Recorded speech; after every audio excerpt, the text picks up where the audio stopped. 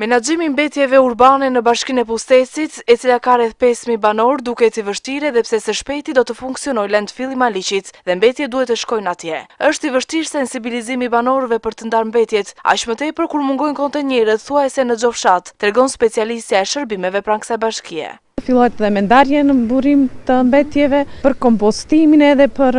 mbledhjen e diferencuar të mbetjeve, ato të riciklueshme, s'mund të bëhet sepse nuk kanë, banorët nuk kanë kosha akoma, rreth pesëdhjetë për qind janë mbetje organike, sepse është zonë rurale, duhet të zgjedhim dy pika, për mbetjet e kompostueshme, që të mos i çojmë ato